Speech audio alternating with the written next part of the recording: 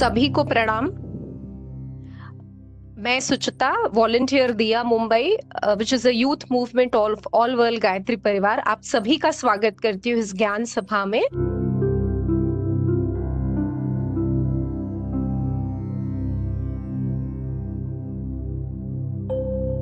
आज एक सौभाग्य का दिन है, सौभाग्य का पल है कि हमारे बीच आज डॉक्टर अनिल जोशी जी आ, हमारे बीच उपस्थित हैं।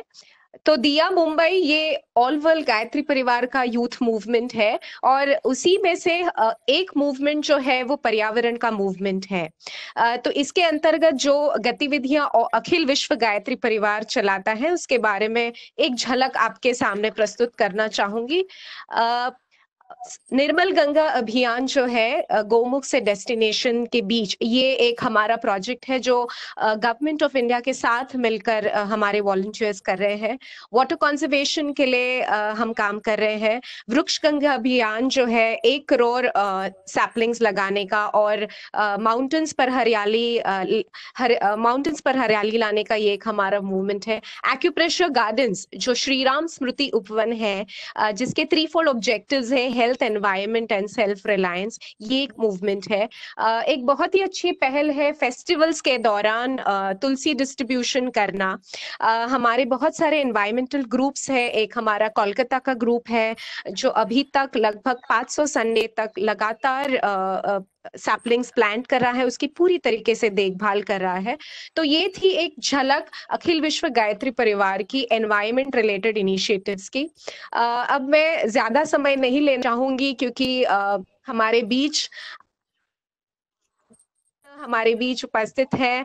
आपका नाम डॉक्टर अनिल जोशी जी हैं, जो फाउंड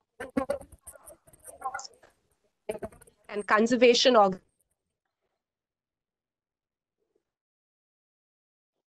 हमारे बीच ये ऐसे रत्न हैं जिन्होंने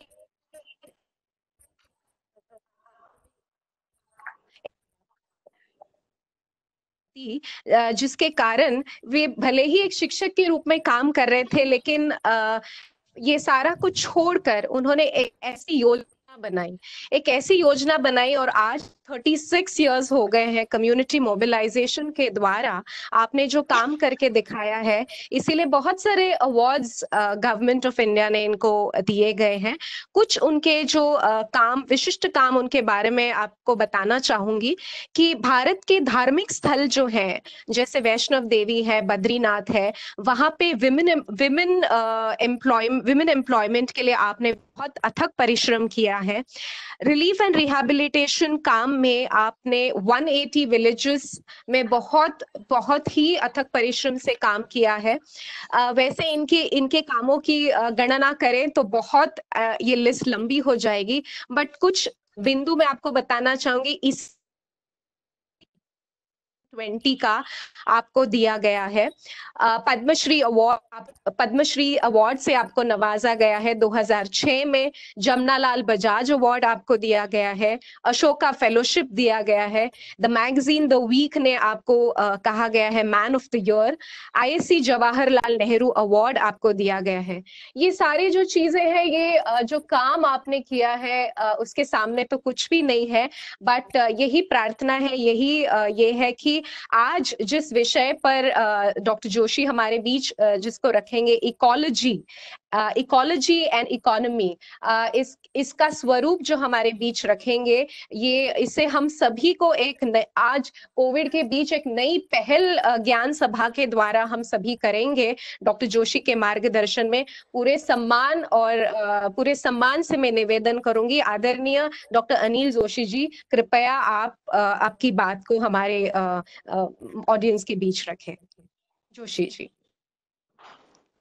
सभी लोग मेरा प्रणाम स्वीकार करें और सबसे पहले मैं अपनी बात शुरू करने से पहले आचार्य श्री राम शर्मा को की वंदना करता हूँ और उस महान व्यक्ति के महान कार्यों के आगे जहाँ दुनिया उनकी एक बहुत लंबी एक अनुयाय, उनके अनुयायी दुनिया में है, निश्चित रूप से इस व्यक्ति का वचन और व्यवहार ऐसा रहा जिसने इतने लोगों को दुनिया भर में संबोधित करके और एक ऐसे पथ की तरफ़ सबको ले जाने की कोशिश की जिससे समाज का सृजन होता है।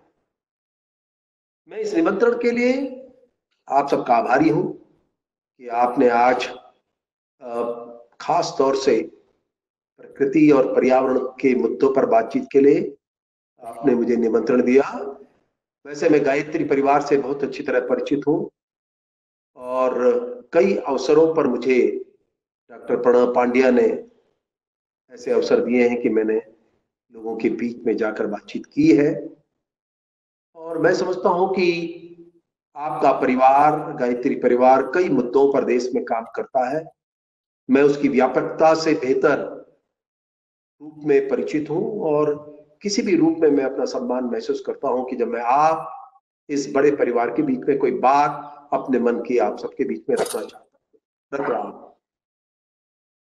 देखिए, एक बड़ा सवाल है, और वो सवाल आप इसमें देखिए कि अगर आप कुछ चीज़ें समझने की कोशिश करेंगे तो शायद मैं अपनी बात आप तक पहुँचा सकूँ।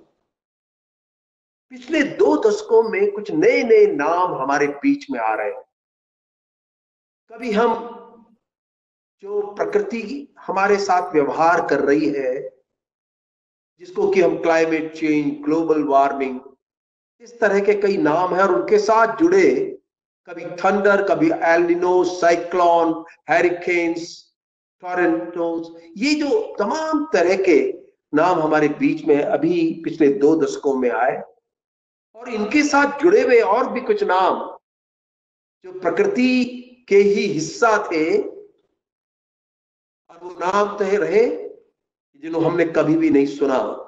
Swine flu, bird flu, dengue और अब आज कोरोना, ये कभी नहीं थे। पिछले दो दशकों में ये कुछ नई जो नॉमन हमारे बीच में विभिन्न तरीके से विभिन्न रूप में, उन प्रतिक्रियाओं में जो प्रकृति ने की है, वो हमारे बीच में आए हैं। हमें सब कुछ सोचना चाहिए कि ऐसा क्या हो रहा है। क्योंकि मनुष्य ने ये तय कर लिया जब से और करीब 200-300 सालों से कि ये पृथ्वी उसकी है। उसने कभी पृथ्वी को और प्रकृति की भागीदारी किसी से करने की कोशिश नहीं की। उसे लगा ये जितने भी प्रकृति के संसाधन है, प्रकृति के जो भी वरदान है, उसका हक और अधिकार अगर किसी का है तो वो मनुष्य का है। उसने अन्य जीवों को कभी भी किसी रूप में कोई सम्मान नहीं दिया और दिया भी उसको डोमेस्टिकेट किया होगा और किया भी होगा तो मात्र अपने लाभों के लिए किया होगा। इससे अलावा उसने अन्य जीवों का कभी भी कोई सम्मान नहीं किया।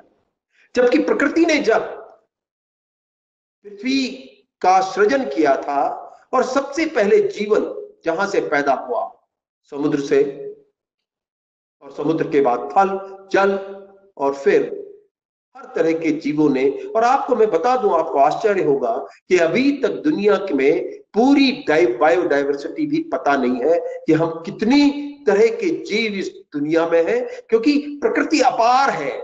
प्रकृति को समझना बहुत सरल नहीं है। लेकिन हाँ प्रकृति के उत्पादों को हम ज़्यादा बेहतर समझे, और हमने उनके लाभ के लिए, उनसे लाभ जुटाने के लिए हर कुछ वो किया। कि जो हम जिसमें अपने हित सिद्ध कर सकते थे। अब देखिए, कितनी अजीब बात है कि जब पुरानी दुनिया थी और पुरानी दुनिया जिसमें कि एक शब्द संस्कृति और कल्चर, जो कि मुझे लगता है गायत्री परिवार का मूल मंत्र का हिस्सा होगा। एक कल्चर था, संस्कृति थी। और वो संस्कृति वो संस्कृति थी जो संरक्षण भी सिखाती थी। जो आप जो लेते हो, उसके देने का भी आप को उसका हिस्सा था, उसकी शिक्षा थी। और अब एक नई सभ्यता ने जन्म ले लिया। और वो सभ्यता वो थी जिसने सिर्फ़ भोग ना जाना।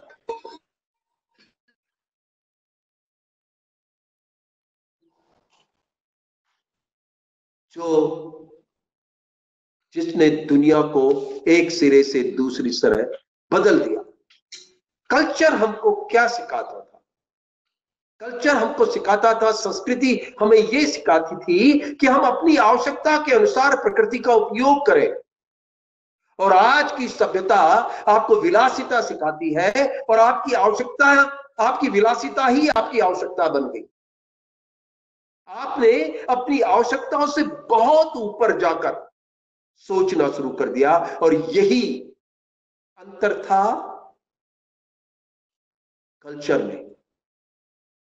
संस्कृति और सभ्यता का यही, सभ्यता ज्ञान विज्ञान के नए आयामों के साथ जोड़कर पैदा हुई, जिसमें भोगवादी आप के अंदर जिज्ञासाएँ पैदा की, हम नया क्या जुटा सकते हैं? और सब कुछ जुटाने में हमने कभी गंभीरता से यह सोचने की नहीं कोशिश की कि प्रकृति की एक सीमा है। प्रकृति और पृथ्वी माँ के दर्जे में रखी जाती हैं। और हम तो उस देश के लोग हैं कि जहाँ ये मान के चला जाता है, प्रकृति माँ है, पृथ्वी माँ है, समुद्र से देवी, आपने सुना ही होगा। कि समुद्र जिसके गोद में है, जिसके पर्वत गोद में है, ऐसी विष्णु पत्नी पृथ्वी पर पैर रखने से पहले मैं क्षमा चाहता हूँ, हम उस देश के लोग हैं। क्योंकि यह सम्मान प्रकृति और पृथ्वी का प्रति हमारा था। आज हम एक ऐसी सभ्यता और दुर्भाग्य ये है कि ये सभ्यता पश्चिमी थी। क्योंकि हमने पूर्व, पूरब की संस्कृति को पश्चिमी सभ्यता के आगे छोटा कर दिया। हम संरक्षण को लेकर के गंभीर नहीं रहे। हमने बस एक बात तय की, एक ही बात सोची कि हम किस तरह से विभिन्न सुखों को जुटा सकते हैं, विलासिताएँ कैसे जोड़ सकते हैं? हम कंजम्पशन पर ज़्यादा चले गए और कंजर्वेशन से दूर होते चले गए और हमने पीढ़ी की पीढ़ी तैयार कर दी। पिछली तीन चार दशकों की पीढ़ियों को आप देखिए, उनमें पूरा बदलाव है। वहाँ कहीं भी हमारी शिक्षा का हिस्सा नहीं है। कि हम ये बताने और जताने की कोशिश करें कि प्रकृति और पृथ्वी की भी एक सीमा है। और सीमा को समझते। पर हमने जो सबसे बड़ा, जिस दंड के हम भागीदार हैं, वो इस रूप में है कि हमने प्रकृति और प्रभु दोनों को अलग कर दिया। हम प्रभु को तो जुटाते हैं, मंदिरों में जाते हैं। हम करते हैं, सभी वो रास्ते अपनाते हैं। हमारा अभिप्राय होता है कि प्रभु का आशीर्वाद बना रहे, लेकिन हम भूल गए। प्रकृति और प्रभु में कोई अंतर नहीं होता, क्योंकि आप तो सब इस बात को अच्छी तरह से जानते हैं कि प्रभु वही बसते हैं, जहाँ जंगल होते हैं, वन होते हैं, नदियाँ होती हैं और मुक्ति के रास्ते हमेशा कहा गया है। वही होते हैं, जहाँ एक तरफ़ मंदिर होते हैं और दूसरी तरफ़ परलोक जाने की दिशा तय होती है। क्योंकि उन जगहों में भोगवादिता नहीं होती। उन जगहों में एक ऐसा प्रभाव होता है जहाँ प्रकृति और प्रभु को एक साथ देखा जाता है और यही कारण है बद्रीनाथ, केदारनाथ या गंगोत्री, यमुनोत्री, प्रभु वहीं क्यों बसे? मंदिर तो हमने शहरों में भी बनाए, लेकिन वो मकान की तरह थे। वहाँ श्रद्धा उस रूप में नहीं जुटा पाए, क्योंकि ये सब तय था संस्कारों में। क्योंकि उसके साथ एक शिक्षा और भी थी, और शिक्षा का हिस्सा था कि प्रभु वहाँ बसते हैं, जहाँ प्रकृति होती है। और हमने पूरी अपनी पिछले 200-300 साल की तथा कथित प्रगति को, जिसको हमने एक नया जामा पहनाया विकास के नाम का। हमने कहा, ये विकास है। और हमने प्रकृति और प्रभु को दोनों को अलग करके देखना शुरू कर दिया। प्रभु के लिए अपने हमने घर में मंदिर बना दिए, लेकिन प्रकृति के लिए हम कुछ नहीं कर पाए। प्रकृति का एक तरह से लगातार 200-300 सालों में हम दोहन करते चले गए। क्योंकि जीवन के प्रति हमारी समझ पूरी तरह से बदल गई थी। कितनी अजीब सी बात है कि आज भी हम जीवन को नहीं समझ पाए। और देखिए, आपने तमाम तरह के विज्ञानों पर काम किया होगा। दुनिया आज हर तरह के विज्ञान पर प्रखर है, आगे जा रही है। हम चंद्रमा मंगल में जाना चाहते हैं। कितनी अजीब बात है कि अपनी प्रकृति, अपनी पृथ्वी को नहीं समझ पाए और चंद्रमा और मंगल में जाना चाहते हैं। जबकि ये पहले ही इस विज्ञान के प्रति हम सब लोग परिचित हैं कि मंगल में क्या है। अगर आप अपने वेदों को टटोल लें, अपने ज्ञान विज्ञान को देख लें इस देश के तो आपको उसके कुछ मूल स्वभाव के बारे में सब जानकारियाँ जुटा सकते हैं। हम जाना चाहते हैं ब्रह्मांड के और जिज्ञासा होनी चाहिए। मनुष्य की प्रवृत्ति है कि जिज्ञासा हो, लेकिन वो जिज्ञासा अगर अपनी विलासिताओं के लिए है वो स्वीकार योग्य नहीं है। मुझे हो, आपको हो सकती हो, लेकिन प्रकृति को स्वीकार योग्य नहीं है और प्रकृति प्रभु को में कोई अंतर नहीं होता, इसलिए प्रभु को भी वो स्वीकार नहीं है। और इसीलिए केदारनाथ में जब बड़ी आपदा आई थी तो प्रभु के चरणों में आई। सबके सब पूजा करने गए थे। ऐसा क्यों हुआ? क्या हुआ? देखिए, अभी हमें एक नए सिरे से दुनिया को समझना चाहिए। और इस सिरे को समझने का जो सबसे बड़ा माध्यम होना चाहिए, वो ये होना चाहिए कि हम साइंस ऑफ़ नेचर को समझें। प्रकृति के विज्ञान से हम पूरी तरह दूर हैं। हम नए विज्ञान की खोज में अपने ही विज्ञान को हमने दरकनार कर दिया है और उसके परिणाम आज हमारे सामने है। आप देखिए विलासिताएँ की एक सीमा होती है। वो उसकी रेखा खुद खींच लेनी चाहिए, वरना प्रकृति उसकी रेखा खींचती है। अगर हम खुद तय करें कि हम तथा कथित विकास को कहाँ तक ले जाए हम अपनी आवश्यकताओं के ऊपर भी जरा जा सकते हैं, लेकिन जिस तरह की होड़ तथा कथित इकोनॉमी इकोनॉमी इकोनॉमी को लेके है, वो हमें आने वाले समय में निश्चित रूप से एक दंड देगी और वो दंड किसी भी तरह से हमारे बीच में आ सकता है।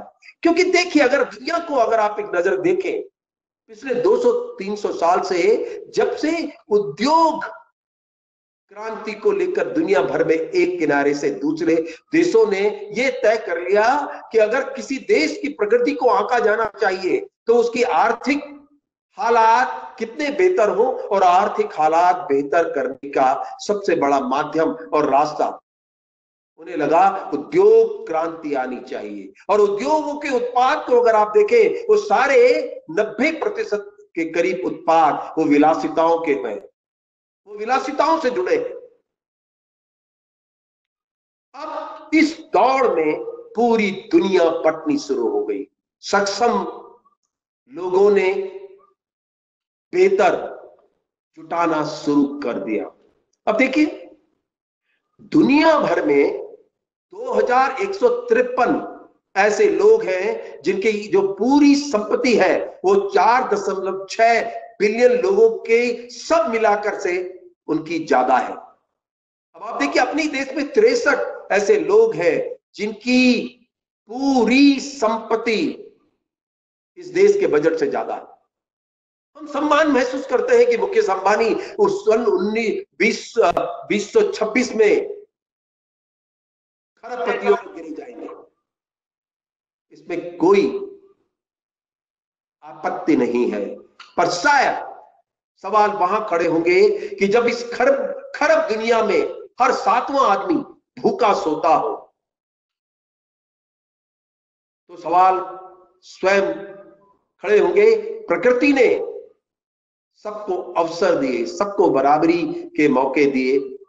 और मनुष्य ही एक ऐसा जीव था जिसे बुद्धि का और उसे बुद्धिजीवी कहा गया। उस बुद्धिजीवी ने खेमे पटा बांट दिए। उस उस बुद्धिजीवी ने अपने जुटाने के लिए सारे रास्ते निकाल दिए और तमाम तरह के हमारे टुकड़े हो गए। सिर्फ़ और सिर्फ़ इसलिए कि उस अकेले व्यक्ति ने तय किया, उस अकेले व्यक्ति ने तय किया, मनुष्य ने कि प्रकृति उसकी है, पृथ्वी उसकी है और वो उसके साथ कैसे भी कर सकता है, इसके बीच में कुछ विद्वान भी आए होंगे, कुछ ज़्यादा समझदार आए होंगे, जिन्होंने जुटाने के बड़े काम शुरू कर दिए। कितनी अजीब सी बात है कि अगर आप दुनिया को एक नज़र में देख लें कि पूरी दुनिया में दस बड़े देश 50 से 60 प्रतिशत जीडीपी को कंट्रोल करते हैं।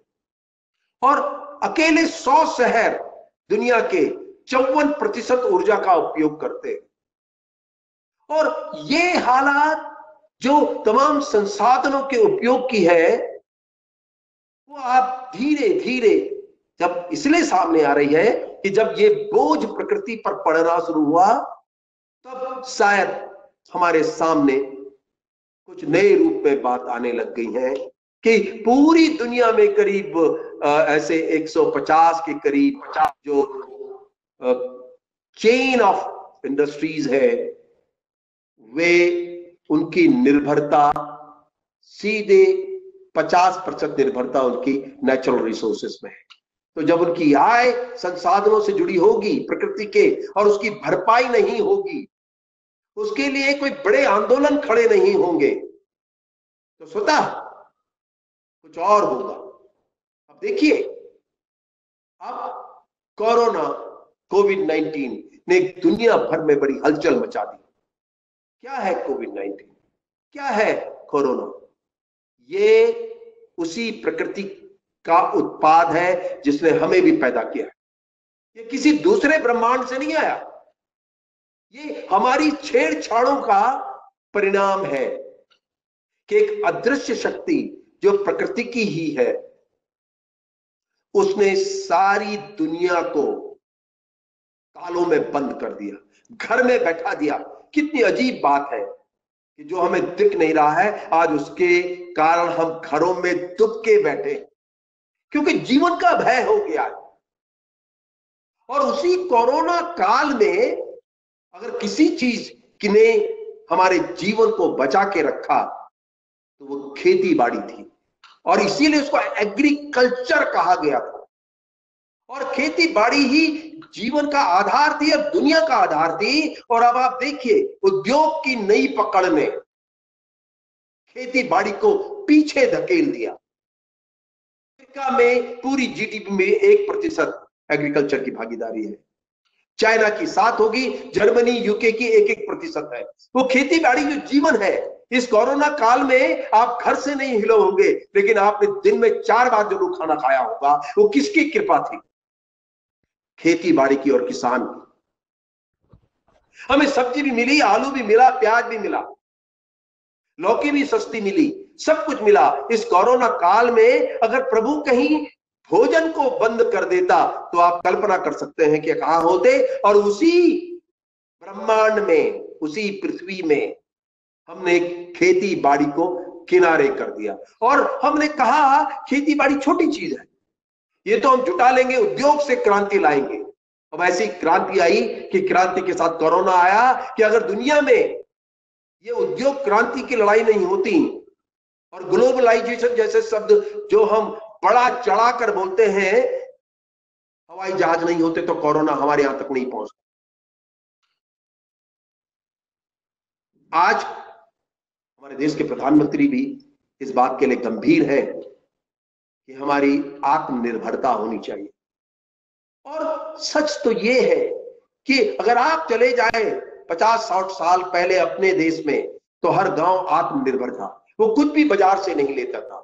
और जब से बाजारी संस्कृति पैदा, सभ्यता पैदा हुई, अब पूरा का पूरा गाँव, देश के हर गाँव अपने सत्तर प्रतिशत से ज़्यादा चीज़ों की आवश्यकता बाज़ार से पूरी करते हैं। हम तो आत्मनिर्भर रहे। लेकिन जब से उद्योग क्रांति और ये नए सभ्यता ने घर गाँव में बैठ बनानी शुरू कर दी, धीरे धीरे सब कुछ टूटना शुरू हो गया। और इस तरह से टूटा एक भय बराबर का बना हुआ है। क्योंकि आप पिछले 200 सालों में 300 सालों में हमने प्रकृति को जिस हद तक खो दिया है वो एक ऐसी चुनौती हमारे बीच में है, जिसकी वापसी एक बड़ी चिंता और चिंतन का विषय है। और गायत्री परिवार जैसे लोग अब चुप नहीं देखे जा सकते।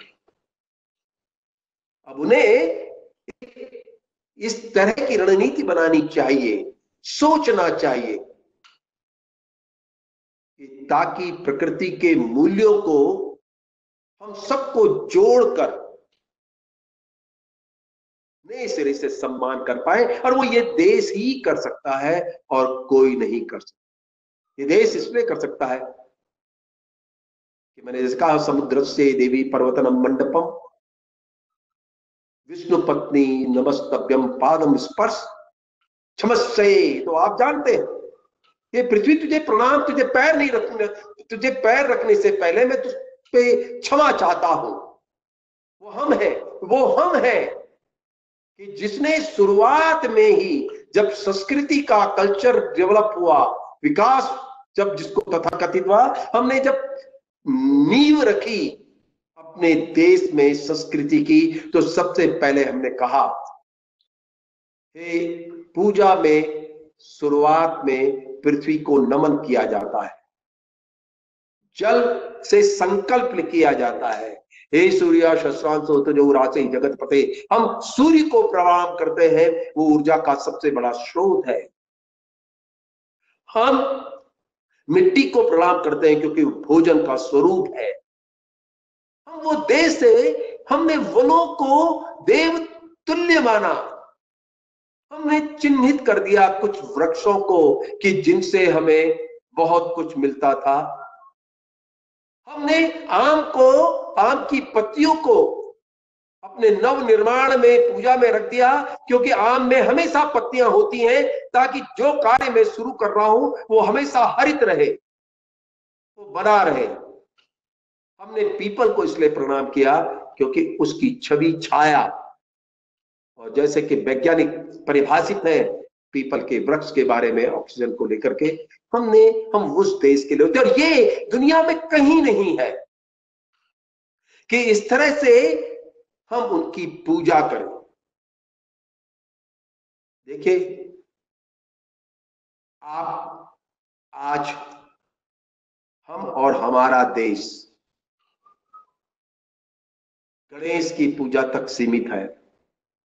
भगवान शिव को मानते हैं, रामचंद्र जी का ग्रहण करते हैं, हनुमान को प्रणाम करते हैं। लेकिन ये आधा अधूरा है। क्योंकि इन सब का अस्तित्व भी कहीं ना कहीं प्रकृति और पृथ्वी से जुड़ा है। अब सतयुग हो या त्रेता हो या द्वापर आया हो, और ये जो पूरे हमारी अपने संस्कारों की जो श्रृंखला है, जो सतयुग से और कलयुग तक चली है, ये सब पृथ्वी और प्रकृति के चारों तरफ़ घूमती रही। लेकिन नए सभ्यता ने हम सबको जता दिया, हम सबको थका दिया एक किनारे से। अब सवाल कुछ खड़े हैं जिनको कि हमें बड़े गंभीर रूप से सोचना चाहिए और देखिए, आज भी जिस कोरोना या कोविड 19 में जो कुछ हुआ, अगर हमने आज शिक्षा नहीं ली तो प्रकृति इसके बाद कभी हमें माफ़ करने वाली नहीं है। क्षमा के अधिकारी नहीं होंगे हम। क्योंकि हमने एक एक करके जिस तरह से सब कुछ खोना शुरू कर दिया और खत्म करना शुरू कर दिया, उसके पीछे हमारी विलासिताएँ हैं। हम सबने व्यक्तिगत रूप से कभी कोई रेखा नहीं खींची होगी, एक लाइन नहीं खींची होगी कि हम इससे आगे स्वयं कुछ चीज़ का उपयोग, उपभोग नहीं करेंगे। हम नहीं सोचते हम जुटाना चाहते हैं। लेकिन उसके मूल्य प्रकृति और पृथ्वी को देने पड़े और अंत में वो दंड कहीं हमें ही झेलना और लेना पड़ेगा। और इस सब में एक बड़ी स्पष्ट सी बात है कि देखिए, हमारे बीच में से नदियाँ जानी शुरू हुई। एक एक करके करीब इस देश में और दुनिया में नदियाँ हमारा साथ छोड़ रही है। वही नदियाँ तो हमारा पिछला काल जिनसे जुड़ा था। हमारा भूत नदियों से था, हमारा वर्तमान नदियाँ हैं, हमारा भविष्य नदियाँ हैं।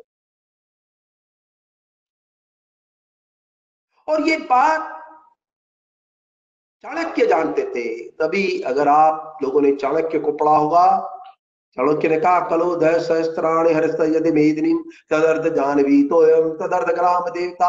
उन्होंने कहा कि पाँच हज़ार साल जब कलयुग के निकलने शुरू होंगे तो आप तो गंगा आपके साथ छोड़ना शुरू कर देगी और गंगा ने शुरू कर दिया। गंगा तो प्रतीक है, नदियाँ। सारी नदियों हमारा साथ छोड़ रही हैं। और उसके आधे में चाणक्य ने कहा कि आपके ग्राम देवता आपका साथ छोड़ देंगे। और आप देखिए, अब हम मंदिरों की नए सभ्यता के बीच में हैं। अपने ग्राम देवताओं के प्रति हम नमन नहीं कर पाते। और ग्राम देवता, जंगल हवा, मिट्टी, पानी, इससे जुड़े हुए हमारे प्रतीकात्मक प्रभु रहे। छूट गए। गाँव छूट गए। ग्राम देवता का मतलब हमसे गाँव छूट गए। चाणक्य ने तब कह दिया था। नदियाँ गई, तालाब गए, कुएँ गए। क्योंकि हमने एग्रीकल्चर को कॉमर्स जब से बना दिया तो कुओं में आप पाताल पहुँच गए। क्योंकि आपको इस तरह के बीज आपने जुटाने शुरू किए, जिनको ज़्यादा पानी चाहिए। नए बीज आने लग गए। नए बीज के साथ पैदावार बढ़ानी थी तो फिर आप को पेस्टिसाइड इंसेक्टिसाइड भी यूज़ करना था, क्योंकि वो प्रकृति के बीज नहीं थे, उनमें इम्यूनिटी नहीं थी। और फिर आपने पूरे मिट्टी को बदल दिया। नदियाँ खत्म हुई का अकाल पड़ा तो विज्ञान ने क्या किया? ये नहीं, कोशिश की कि प्रकृति के नदियों के वापसी के रास्ते प्राकृतिक जितना होंगे, उतना स्थायी पानी होगा। आखिर 4000 बीसीएम पानी इस देश में पड़ता है। हम कितना पानी उसका उपयोग कर पाते हैं?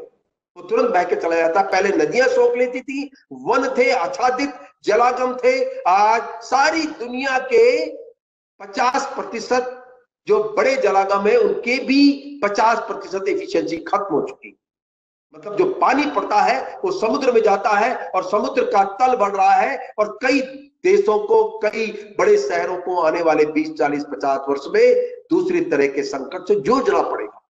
नदियाँ मर गई और विकल्प क्या निकला? विकल्प निकाला गया, पानी को बेचो। हर चीज़ बाजारी कर दी। बाजारवाद अवसरवादिता देखता है।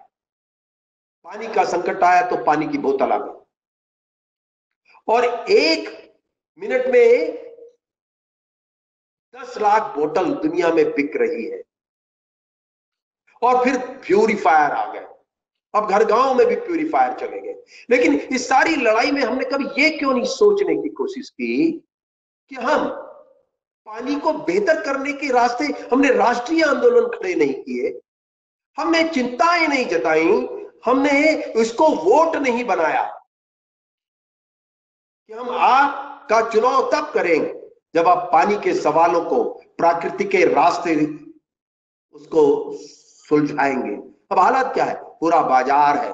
और मुझे बड़ा दुख होता है जब हमारे फिल्मी स्टार कभी किसी पानी को बेचते पाए जाते हैं। हमारे बड़े क्रिकेटर भी पानी या प्यूरिफायर को बेचते पाए जाते मुझे बड़ा कष्ट होता है, क्योंकि हमने इनको सम्मान दिया। इनको जन मुद्दों के लिए, सतही मुद्दों के लिए लड़ना चाहिए। ये बाजारवाद को जन्म देते मुझे बड़ा कष्ट होता है कि ये ताकतवर लोग हैं। इन्हें लोग देखते हैं, सुनते हैं, समझते हैं। ये जन मुद्दों के साथ आए, प्रकृति के मुद्दों के लिए लड़े तो शायद कभी हम निकल पाए तो पानी और नदी जब साथ में से गई तो व्यापार खड़े कर दिए। फिर जब मिट्टी हमारे बीच में से गायब होनी शुरू हुई पिछले 200, 300, 400 सालों में हमने वो मिट्टी आधे से ज़्यादा खो दी जिसे प्राकृतिक मिट्टी कहते हैं और जिसका भोजन तथा कथित ऑर्गेनिक कहलाता है जैविक कहलाता है। आज आप जो कुछ भी खाते हो केमिकली फैट फ़ूड खाते हो एक बड़ी रसायन के उद्योग आपके बीच में है। दुनिया में आप तीसरे नंबर पे हैं। जो रसायन पैदा करते हैं और इसी तरह से इंसेक्टिसाइड और पेस्टिसाइड भी आपके साथ जुड़ेंगे। तो अब जब मिट्टी मरती चली गई तो विकल्प निकल के आया कि केमिकल फर्टिलाइज़र लाओ। प्रकार प्राकृतिक रास्तों को हमने नहीं टटोला। हवा को देखिए, जो प्रकृति का एक बहुत बड़ा उत्पाद हमारे बीच में था। हमारे बीच में से हवा ने बड़े संकट में हमको डाल दिया था। दिल्ली हो, कानपुर हो, बड़े शहर हो, सब पूरी तरह प्रदूषित हो चुके। अब ये कोरोना का लॉकडाउन, कोविड 19 के लॉकडाउन ने 21 दिन में जो सब कुछ उल्टलट दिया सब कुछ पलट दिया, गंगा साफ़ दिखती है, नदियाँ सुंदर दिख रही हैं, और यहाँ तक कि पृथ्वी में रहते आप पूरे ब्रह्मांड के दर्शन कर रहे हो, तारों को देख सकते हो, और अभी दूर दूर से, कम पाँच पाँच सौ किलोमीटर दूर से हिमालय के दर्शन होते हैं, यही चर्चा आजकल सबसे बड़ी है। सवाल मनुष्य को खुद से पूछना चाहिए, ऐसा क्यों नहीं हुआ पहले? ये कोरोना की ही ज़रूरत पड़ेगी हमको। प्रकृति को कोरोना ही लाना पड़ेगा सब कुछ करने के लिए। या हमारे भी अपने स्वयं के कोई दायित्व तो है। या पहले हमें कोरोना से मरना पड़ेगा कई लोगों को, मारना पड़ेगा और तब जाके हम संभलेंगे पर प्रकृति के कोरोना ने एक बात तो हम सबको समझा दी कि अगर गंगा मैली थी, नदियाँ खत्म हो रही थी, साफ़ सुथरी नहीं थी, या हवा हमारा दम घोट रही थी, इसका एक और एक ही कारण था, वह मनुष्य की गतिविधियाँ। मनुष्य के प्रकृति पर आक्रमण, मनुष्य के उद्योगों के कारण जो प्रदूषण है, मनुष्य ही था जिसके साथ ये था। जब प्रकृति ने सब पर ताले लगा दिए, प्रकृति ने 21 दिन में सब कुछ वापस कर दिए। एक बात तो साफ़ है कि अगर हम संयम बरते, विलासिताओं की तरफ़ न जाए, सीमाएँ तय कर ले तो हम प्रकृति की वैसी ही वापसी कर लेंगे, जिसकी चर्चा आज हम सारी दुनिया में सब जगह कर रहे हैं। हमारी वापसी तय हो जाएगी। लेकिन क्या हम ऐसा करेंगे? ये बड़ा सवाल है। लेकिन एक और बड़ा मुद्दा है जिसपे कि हमें बड़ा गंभीरता से सोचना चाहिए। और वो मुद्दा है कि हम, हमारा देश जो दुनिया में प्रमुख था, सब कुछ के सुझाव देता था दुनिया भर को। हम भी जीडीपी से मारे गए। यूरोप में कभी 1944 पैतालीस में ये जीडीपी की कल्पना की गई थी, क्योंकि उद्योग क्रांति को नापना था कि हम कितने विकास कर रहे हैं तो जीडीपी आ गया। अब देखिए कैसे जीडीपी है।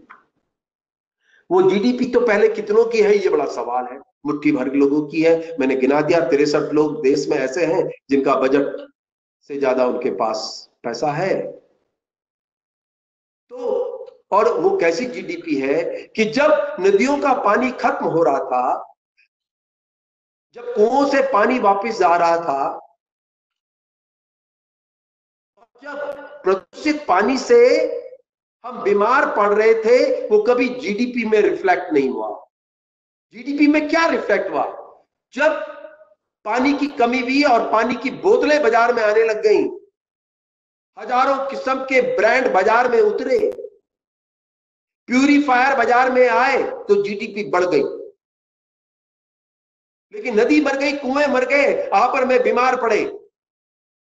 और उसके लिए जो दवाइयाँ हमने खाई, अस्पताल खुले, जीडीपी बढ़ गई। आपकी मिट्टी गायब हुई, केमिकल इंडस्ट्रीज़ आ गई इंसेक्टिसाइड पेस्टिसाइड इंडस्ट्रीज़ आ गई, जीडीपी बढ़ गई।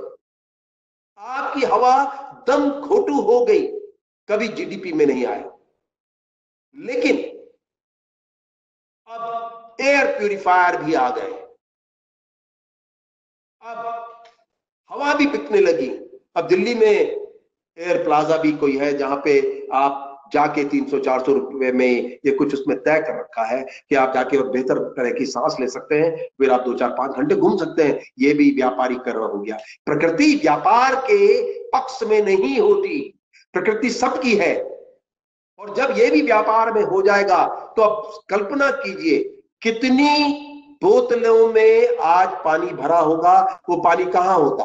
वो पानी नदी में होता, वो पानी तालाबों में होता, आज बिलियंस से भी कई गैलन पानी यहाँ से उठा के व्यापार में आ गया और प्रकृति का एक जो चक्र था, उसको भी संकट में डाल दिया। दूसरी तरफ़, जब नदियाँ मरने लगी तो प्राकृतिक रास्ते तैयार नहीं हुए। तो ऐसी जीडीपी का हम क्या कर सकते हैं? जो हमारे जीवन में मुट्ठी भर लोगों के लिए कृपा हो या विलासिताओं का सामान जुटाने का हो, शायद उसे स्वीकारना इस देश की मजबूरी हो या आवश्यकता हो। लेकिन साथ में बड़ा सवाल ये भी खड़ा होना चाहिए कि इसके समानांतर हमारे पास एक और मुद्दा होना चाहिए कि ठीक है हम सब कुछ पैदा कर रहे हैं, उद्योग भी करेंगे, ये भी करेंगे, लेकिन एक और आंकड़ा होना चाहिए कि इस वर्ष, जिस वर्ष हम एक जीडीपी को दे रहे हैं, सकल घरेलू उत्पाद को दे रहे हैं, उसी वर्ष हमने कितने जंगल बढ़ाए, हमने कितना पानी वर्षा का, बहने से रोका, उसको जुटाया, हमने कितनी हवा ठीक की, हमने कितनी मिट्टी मात्रा में ऑर्गेनिक की, इसको भी कलेक्टिवली समानांतर जब आर्थिक उन्नति की बात करें, आर्थिक प्रगति की बात करें तो पर्यावरण प्रकृति के ग्रोथ की भी बात करें जो मनुष्य ने किसी भी गिवन ईयर में किया हो। बताए कितने जंगल बढ़ाए कितना पानी बेहतर इसका भी एक सम्मिलित आंकड़ा होना चाहिए ताकि हम बता सकें, आर्थिक प्रगति ये थी तो प्राकृतिक रूप से जो इकोसिस्टम ग्रोथ है, जो हमारा पारिस्थितिकी तंत्र है, उसमें हवा, मिट्टी, जंगल, पानी कितने आगे बढ़े। ताकि जीवन हम अपना बचा सके, जीवन बच सके, क्योंकि हम उस सीमा पे पहुँच गए। जिस संगठन में मैं हूँ, जुड़ा हूँ, हमने प्रकृति के रास्ते ही विज्ञान को भी तय किया, हमने नदियाँ बनाई हैं। और वो रास्ते वही चुने कि जहाँ हमारे जिस जगह हमारा आश्रम नुमा जीवन है, वहाँ पे एक नदी थी जो सूख गई थी। हमने कुछ नहीं किया, बल्कि नदी के जलागम को जहाँ पे वन खत्म हो गए थे, पानी को तत्काल पकड़ना था, हमने वाटर होल्स बना दिए। एक हेक्टेयर में 500 600 वाटर होल्स बनाए वन क्यूबिक मीटर के, जो भी पानी पड़ा, उस गड्ढे में चला गया वाटर होल्स में चला गया, और हमारी नदी पिछले 10 वर्षों में लगातार उसमें पानी आया, और क्योंकि वहाँ पर मॉइस्चर आ गया था प्रकृति ने स्वयं ही नए वृक्षों को जन्म दे दिया और आज वो एक घने वन के रूप में है। ये है प्रकृति के विज्ञान का रास्ता। ऐसे ही रास्ते सोचने, समझने और चुनने होंगे।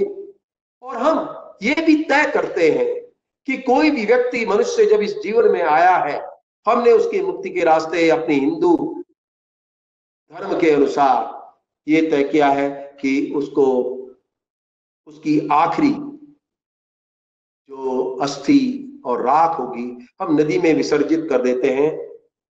ये तब का हमारी संस्कृति थी, हिस्सा था उसका, कि हम नदी में मोक्ष प्राप्त कर मुक्ति देने के लिए विसर्जित करते थे। लेकिन अब नदियाँ इस योग्य तो है ही नहीं कि हमारी राख को सब जगह ले जा सके। जहाँ डालते हैं, वहीं बैठ जाती। तो हमने एक रास्ता निकाला। हमने लोगों से कहा कि आपके परिवार का कोई सदस्य जो भी दिवंगत होगा, उसकी राख और उसकी जो भी अस्थि हैं, वो विसर्जित नहीं करेंगे। उनको इकट्ठा करके और उसको मिट्टी मिला करके उसमें वृक्ष स्थापित कर देंगे। और आपके पूज्य दिवंगत माता पिता के जितने कार्बन, नाइट्रोजन, फॉस्फेरस उसके अंदर होंगे, उस वृक्ष में चले जाएँगे और तुम्हारे पिता का पुनर्जन्म होगा और तुम्हारे पिता अगर जीवन में कुछ न कर पाए हो सेवा प्रकृति की, इस वृक्ष के रूप में पूरी प्रकृति की सेवा करेंगे।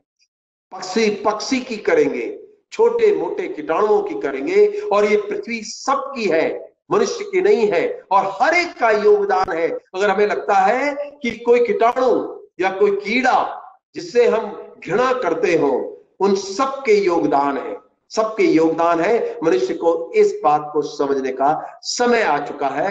अगर उसने ये नहीं समझा और उसने ये मान के चला कि हम ही सब कुछ हैं तो अब आपके कोरोना ने आपके कपाट बुरी तरह बंद कर दिए। और ये मान के भी चले कि वो तथाकथित जीडीपी वो फ्लैट गिर चुकी है। और अगर हम किन कारणों से ज़िंदा है, इन सब के बावजूद भी खेती से, किसानों से, लोगों से, प्रकृति से सांस तो मिली ना आपको?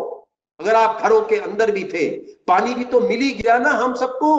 हमें न घूम पाए हो कारों में, न ले पाए हो नए नए उत्पादों का लाभ इन तमाम दो महीने के समय में, लेकिन प्रकृति ने आपको ज़िंदा रखा। और देखिए ना कितनी विषय है कि प्रकृति ने पहला दंड उनको दिया। जो विलासिताओं में डूबे थे, बड़े देश इसका, ईरान, इटली, स्पेन, अमेरिका, इन्होंने अपनी पूरी जीवन शैली को इस तरह से बनाया कि इन्होंने अपनी, क्योंकि हम उस देश में हैं जहाँ फ़िज़िकल स्ट्रेस लिया जाता है। हम वहाँ उस देश के हैं जहाँ ज़्यादातर लोग कई चीज़ों से वंचित हैं, पूरा परिश्रम करते हैं, हम जो भी भोजन करते हैं वो हम निश्चित रूप से जस्टिफाई कर सकते हैं, न्यायपूर्ण करते हैं, हम अनावश्यक नहीं खाते, सीमित खाते हैं, और हमारा अपना भोजन विज्ञान भी है कितना खाना चाहिए और क्या खाना चाहिए। इसका पूरा विज्ञान है, जिसे हमें समझना चाहिए। क्योंकि आप जिस देश में रहते हैं, वहाँ इंक्लूसिव ग्रोथ है। यहाँ पे पारिस्थितिकी तंत्र में सब कुछ जोड़कर समझा और देखा जाता है।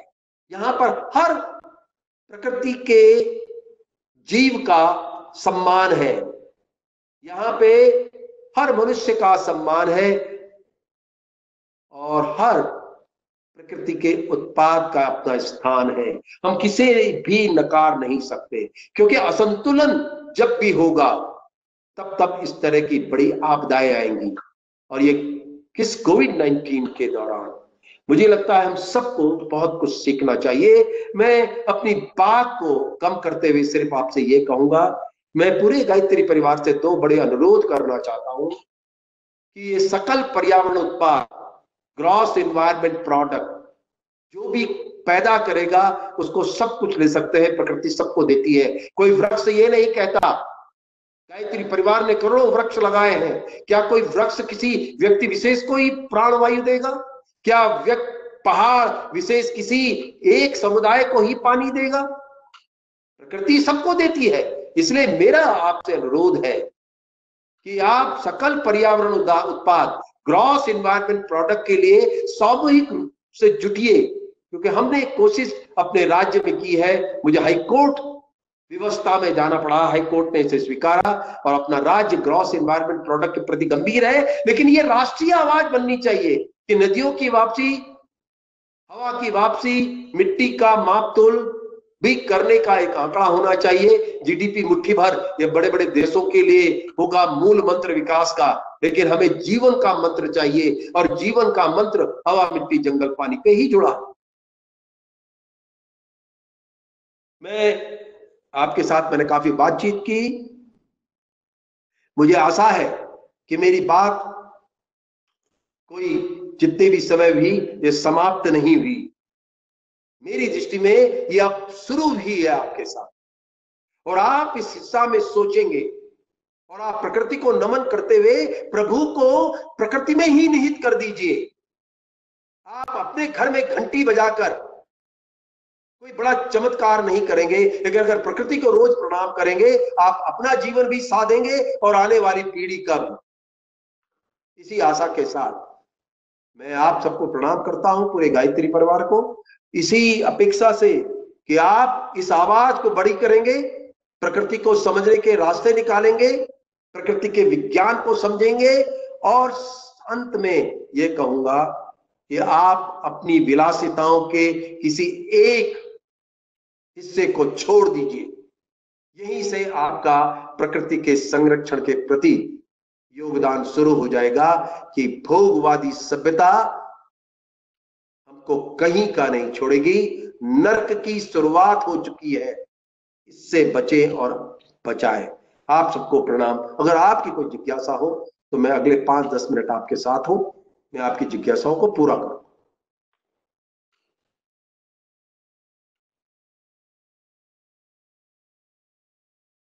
धन्यवाद जोशी सर। वाकई में आपने जो बिंदु हमारे बीच रखे हैं, उससे बहुत सारे प्रश्न हमारे बीच आए हैं। पहला प्रश्न हम लेंगे। तो पहला प्रश्न आया है how can India increase the agricultural exports देखिए, अब आने वाले समय में मैं बार बार इस बात को कहने की कोशिश करता हूँ कि आगे आने वाले समय में अगर सबसे बड़ा कोई उद्योग होगा, वो खेती से ही जुड़ा होगा। लेकिन दो बातें बड़ी महत्वपूर्ण हैं। हमारी खेती करने की शैली अगर वो वर्तमान तरह की होगी तो हम बड़ा अंतरराष्ट्रीय उत्पाद बाज़ार नहीं जुटा पाएँगे, क्योंकि हमें अपनी भारतीय पद्धति खेती को अगर हम अपनाएँगे और जिस, क्योंकि अभी प्रधानमंत्री मोदी ने भी अपनी 20 लाख करोड़ की इस योजना में एक हिस्सा बनाया कि जो स्थान जो पैदा करता है, उसकी ही ब्रांडिंग होनी चाहिए। लेकिन उसकी उत्पादकता के जो तमाम अवयव है, उनको सोचते हुए हमें अपनी अंतरराष्ट्रीय स्तर पर बड़े रूप में इस, ऐसे देखना चाहिए कि हम अपने आप को उनसे अलग रखकर कौन से उत्पाद को दे सकते हैं। और वो उत्पाद ज़्यादा कि जो भारत ही पैदा करता हो, और भारत के अंदर भी कई क्लाइमेटिक जोन है। अगर हिमालय के लोग जो पैदा करते हैं, वो दक्षिण भारत के लोग पैदा नहीं कर सकते हैं। तो ऐसे अलग अलग जगहों के जलवायु के अनुसार जो हमारे पास विविधता और उत्पादकता है, उनको ऐसे देशों के साथ कनेक्ट करें जहाँ वो पैदा नहीं होता। अगर हम टेम्परेट फ्रूट्स की बात करेंगे तो वो कई देशों को जाएँगे लेकिन हम ट्रॉपिकल की बात करेंगे तो वो टेम्परेट देशों में जा सकते हैं। ऐसी रणनीतियाँ हमें तैयार करनी पड़ेगी। धन्यवाद सर। हमारा दूस, दूसरा प्रश्न है how can India meet the demand of a food with the increasing population ये तो बड़ा सरल है। मैं समझता हूँ कि आज भी वी आर फ़ूड सरप्लस अगर आपको आश्चर्य होगा कि अभी जो कि ये इस कोरोना काल के दौरान एक बड़ा अनुभव था, जो कि हमारे कृषि मंत्री ने भी इसको बार बार कहा था और पासवान साहब ने भी ये बात दोहराई थी कि अगले एक साल तक हमारे पास इतना खाद्यान्न है कि हम देखें। अब ज़रूरत क्वालिटी की है। हम गुणवत्ता को बेहतर करें ताकि जो आज दुनिया भर में हमारा बड़ा नाम है इस बात को लेकर आया कि भारत की संस्कृति को दुनिया ने प्रणाम किया, चाहे वो नमस्ते की हो और चाहे वो उसके भोजन की पद्धति की हो, लोगों ने प्रणाम किया है दुनिया ने कि भारत की भोजन शैली सबसे बेहतर है। और अगर ये समझ हमारी आ जाएगी तो हम सरप्लस भी होंगे और सक्षम भी होंगे और सस्टेनेबल भी होंगे। ऐसे हमें सोचना पड़ेगा। बहुत ही सकारात्मक विचार आपके हैं सर। तीसरा प्रश्न है आज श्रमिकों का पलायन हो रहा है वापस गाँव की तरफ़। इस और ये स्थिति बहुत ही भयानक है। इसके उप, इस पर आपका क्या सुझाव है? कैसे इस भयानक नहीं मानता। मुझे मैं इसको एक अवसर मानता हूँ देश का। मैं उन सब की सम्मानजनक वापसी गाँव की तरफ़ पाता हूँ कि डिग्निटी के साथ जॉब डिग्निटी एक सम्मान उनका है। अब उन्हें अचानक एक आपदा आए और बिस्तर पकड़कर जब हवाई जहाज़, ट्रेन, बस सब बंद हो जाए और उन्हें उस हालात में उतरना पड़े कि वो पैदल वापस जाए। देखिए, ये शक्ति है इस देश की कि आठ आठ सौ एक एक हज़ार किलोमीटर श्रमिक पहुँचे। ये घटनाक्रम का हिस्सा हो सकता है कि ये सब कुछ नहीं पहुँचा पाए। ये नहीं, हम उनकी व्यवस्था कर पाए, लेकिन उस शक्ति को पहचानिए, उस ताकत को पहचानिए कि जब ये सब गाँव में होंगे तो भारत के गाँव, वो जो निराश, उजाड़ और गंभीर हो गए थे, वे एक नई शक्ति के साथ पूरे देश की अर्थव्यवस्था में एक बड़ी भूमिका और इससे पहले के प्रश्न का भी उत्तर इसी में छुपा है कि कृषि इस देश की आने पिछली सदी में सब रीढ़ की हड्डी थी इकोनॉमी की और आने वाले समय भी इसके बाद होगी। मैं इस पलायन को, इसको एक क्षणिक कष्ट अवश्य मानता हूँ। इस कष्ट को गुजरना जो भी हमारे श्रमिकों को होगा, लेकिन उनकी ताकत का हमें परिचय मिल गया। हमें आने वाली शक्ति के दर्शन हो गए कि शक्ति उनके पैरों में है, उनके हाथों में है। उन्हें प्रणाम करिए, वे गाँव को संवारने जा रहे हैं। इस कष्ट में हम किसी भी रूप में उनका क्या योगदान कर सकते हैं? हम अपने अपने स्तर पे सोचना चाहिए। ये पूरे गायत्री परिवार को जो वो लोग गाँव में वापस आए, उनके साथ जुड़कर सोचना चाहिए। ज़रूर सर इस इस पर हम ज़रूर विचार करेंगे। एक प्रश्न आया है आपने कहा कि फ़ूड सरप्लस है भारत में। तो जब हम फ़ूड सरप्लस की बात करते हैं फ़ूड सरप्लस होने के बाद भी हमारा आज जो लोअर सेक्शन है उसके पास जो लो क्वालिटी ग्रेन्स मिलते हैं जबकि एक्सपोर्ट होते हैं अच्छे क्वालिटीज के इसके ऊपर आप आप आ, क्या कहेंगे सर? व्यापारीकरण बाजारवादिता। मैं इसको ये कहूँगा कि देखिए, जब तक खेती में पूरी तरह से नियंत्रण किसान का नहीं होगा, आपके डिस्ट्रीब्यूशन सिस्टम तो मैं बार बार सरकारों से कहा, मैंने पूरे देश की साइकिल यात्रा की, कन्याकुमारी से उत्तराखंड, सिलीगुड़ी से कश्मीर तक, मैं साइकिलों में चला गाँव गाँव गया। खेती बाड़ी को लेके, जैसे पब्लिक डिस्ट्रीब्यूशन सिस्टम है, एक पब्लिक कलेक्शन सिस्टम होना चाहिए। कि मैंने अगर एक बोरी गेहूँ भी पैदा किया, मेरे घर से उसकी खरीदारी हो, क्योंकि जब आप जगह जगह राशन की दुकानें खोल सकते हैं तो आप जगह जगह क्यों नहीं उनकी खरीदारी कर सकते हैं? क्योंकि मंडी में लूट होती है। मंडी में पक्षपात होते हैं। तो पब्लिक डिस्ट्रीब्यूशन सिस्टम को पब्लिक कलेक्शन सिस्टम में करेंगे तो पब्लिक डिस्ट्रीब्यूशन सिस्टम ही आदान प्रदान का बेहतर अनाज का माध्यम भी बनेगा। और मेरा अपना मानना है, ये बाजारवादिता है कि गरीब को राशनों के माध्यम से निम्न स्तर के मिलते हैं, लेकिन मेरा मानना यह है कि जब तक नियंत्रण के तौर तरीके बहुत विकेंद्रित नहीं होंगे, हमको इस तरह की घटनाओं को जूझना ही पड़ेगा। सर आपने सही कहा और आपने कहा कि इस पर और प्रकाश आएगा। बट एक जो व्यथा हम सभी के मनों में है और एक प्रश्न भी उसी के उसी से रिलेटेड आया है कि concern for protecting our environment is there but उसे और बड़े लेवल पे ले जाना जैसे कि how will environment become a political issue और कुछ बदलाव हमें देखने को मिले इसके लिए हमें क्या करना चाहिए सर? आप तो फ़ील्ड पर रह चुके हैं। मेरे मन का सबसे बड़ा प्रश्न आपने मुझे अभी पूछा। मेरे मन का प्रश्न ये है कि जब चुनाव होते हैं, कौन से मुद्दे होते हैं? राजनीतिक पार्टी दलों के नाम लिए जाते हैं।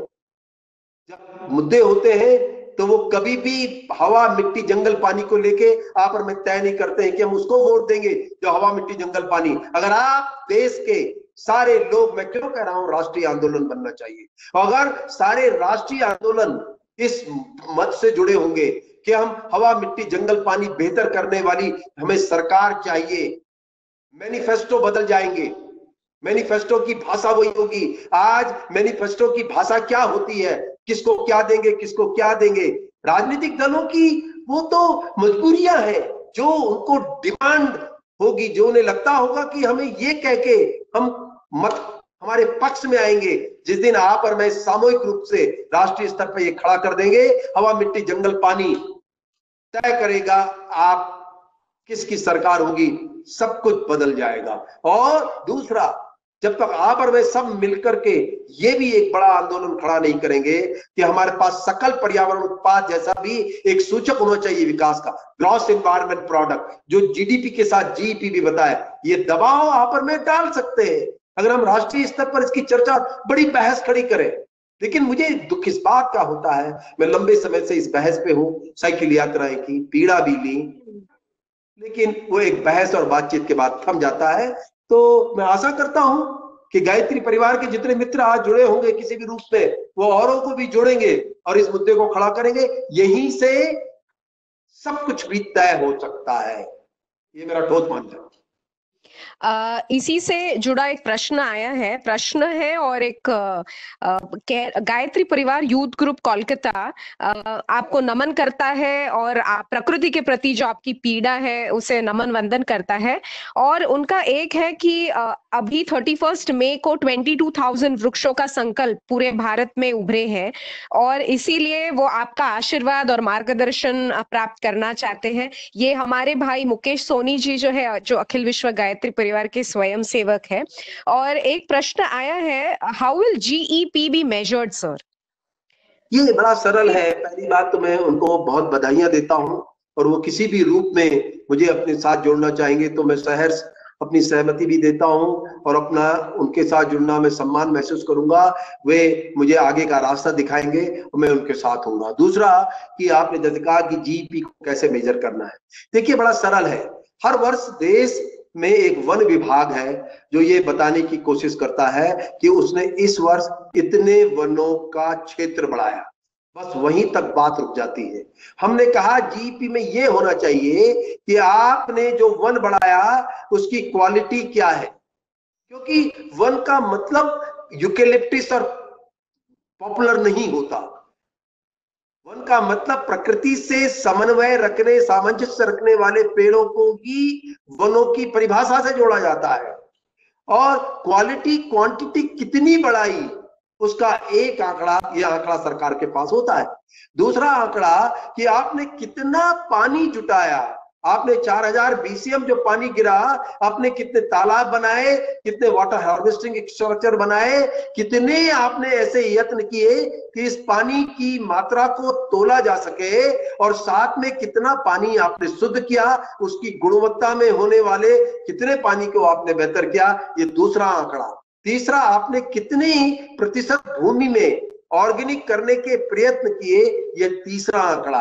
कितनी प्राण वायु में आपने पीएम वैल्यूज़ को डाउन किया? वो प्लस वैल्यूज़ होगी। अगर वो 400 थी तो आपने क्या किया कि इस वर्ष औसतन 200 पीएम वैल्यूज़ थी तो 200 की बढ़ोतरी भी इसको मिलाकर के एक जीपी की कल्पना की गई। धन्यवाद, सर। एक प्रश्न आया है।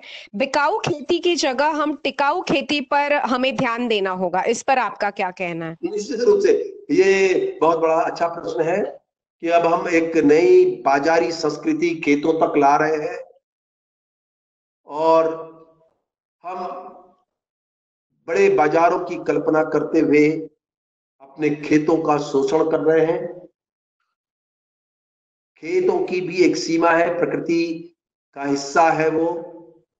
उनमें टिकाऊपन, प्राकृतिक खेती के माध्यम से ही संभव है। बाजारी खेती ने दर्शन करा ही दिए हैं कि कुएँ का पानी परलोक चला गया है, पाताल लोक में।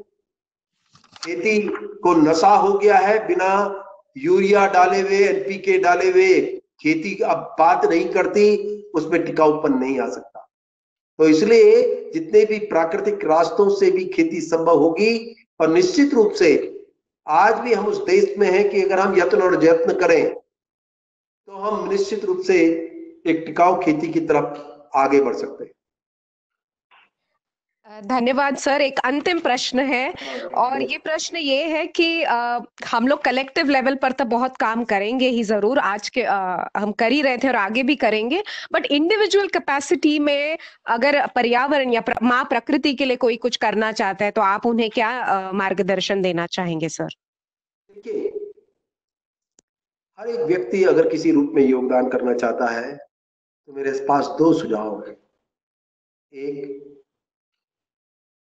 कि वो किसी भी रूप में, किसी भी रास्ते से जैसे भी संभव हो, अपनी किसी एक इच्छा जिसकी पूर्ति वो किसी बाजारी सामानों से करता हो, जिसे मैं विलासिता कहता हूँ उसको त्याग दे। उसके त्यागने का मतलब होगा, वो बोझ प्रकृति पर कम पड़ेगा। और अगर वो करेंगे और वो अपने साथ कुछ औरों को तैयार और एक कड़ी तैयार करेंगे एक ये सीधा सरल तरीका है। जीवन को सरल जितना रखेंगे वो उतना आगे जाता है। जितना कठिन रखेंगे वो उतना आपको कष्ट देता है। सरल जीवन लंबा जाता है कठिन जीवन कष्ट देता है। एक नंबर दो वो किस रूप में भागीदारी करना चाहते हैं ये उनकी सक्षमता पर निर्भर करता है। मेरे यहाँ से कह देने के बाद हो सकता है वो उस खाके में ना उतर पाए कि क्या उनके लिए संभव होगा।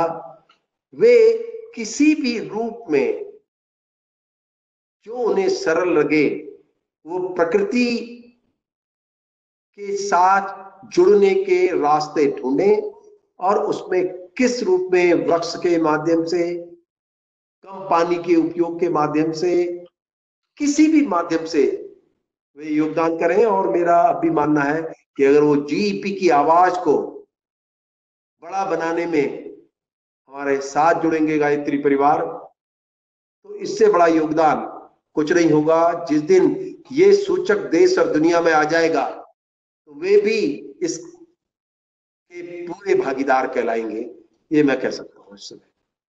सर एक अंतिम प्रश्न है। प्रश्न के प्रश्न एक के बाद एक के बाद आ रहे हैं। ये एक अंतिम प्रश्न लेंगे हम। सकती है मैं उसे जवाब दूँगा तो एक एक एक प्रश्न है। हमारे पास इतनी वैरायटी है लेकिन वो सारी खत्म हो रही है मोनोकल्चर के कारण।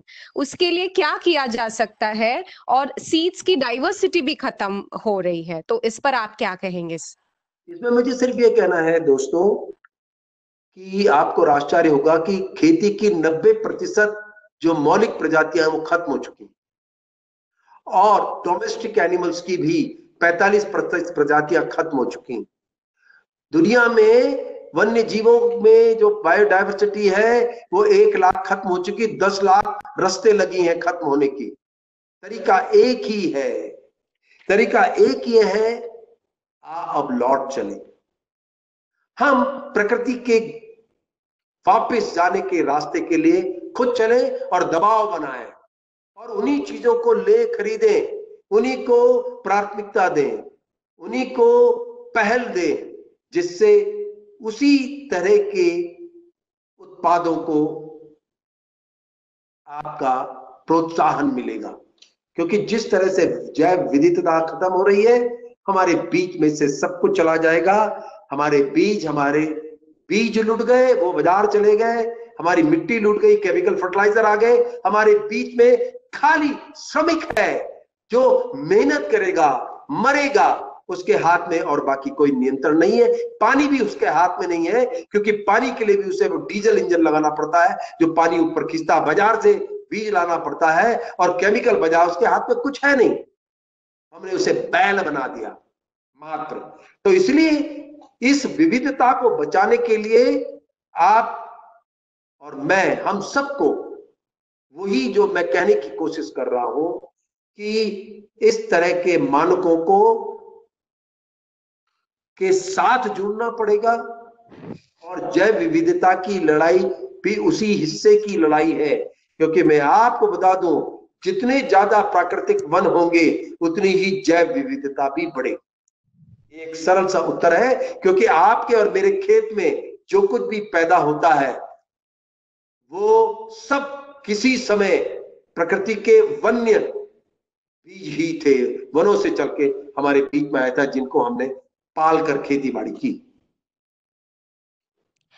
धन्यवाद सर। यहीं पे हमारा क्वेश्चन आंसर सेशन खत्म होता है। बहुत अच्छा लगा आपसे मिलकर, आपकी बातें सुनकर।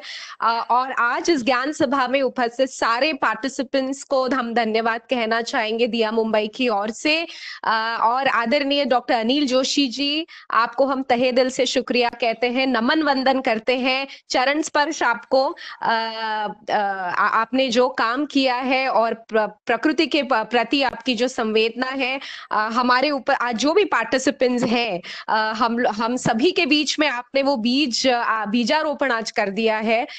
डॉक्टर हिमानी शुभम जोशी आपकी पूरी हेस्को टीम को हम एक सलाम सलाम करते हैं। और आप जो सोच आपने हमारे बीच रखी, प्रकृति के प्रकृति के प्रति, आज से दोहन नहीं, बल्कि उसे पुष्पित और पल्लवित करेंगे। और हम पूरा प्रयास करेंगे। आपने जो बिंदु हमारे बीच आज रखे हैं, उसे हमारे जीवन में लाने की, और आपका जीवन ही त्यागमय जीवन है, और आपने जो बात एक कही कि त्याग के बगैर हम कुछ नहीं कर पाएँगे। तो इंडिविजुअल कैपेसिटी में भी वो त्याग त्याग की जो परिभाषा आपने रखी है, उसे हम आगे लेकर चलेंगे।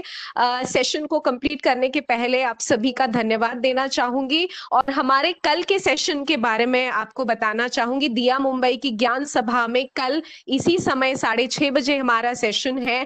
टाइटल है संवाद, जो पेरेंट चाइल्ड बॉन्डिंग के ऊपर है। आप सभी से नम्र निवेदन है कि इस हमारी टीम दिया मुंबई आपको लिंक भेज देगी और सभी से निवेदन है कि आज के सेशन का भी पूरा फीडबैक आप हमें प्लीज़ दे दीजिएगा।